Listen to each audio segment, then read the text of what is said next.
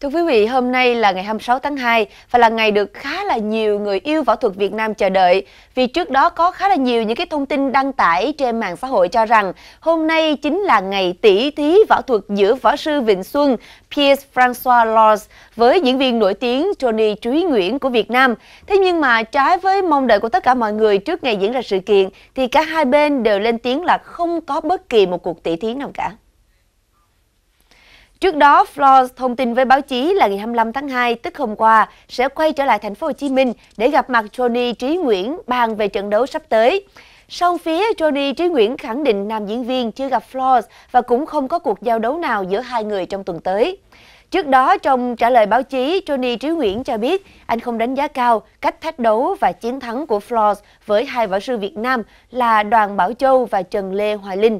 Theo anh, à, theo anh, đấu võ thì phải tuân theo quy định về cân nặng, luật lệ thì mới công bằng.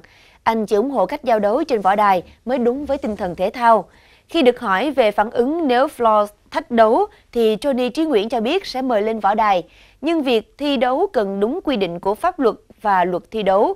Thi đấu trên võ đài để có luật lệ mang tính thể thao, trau dồi và học hỏi.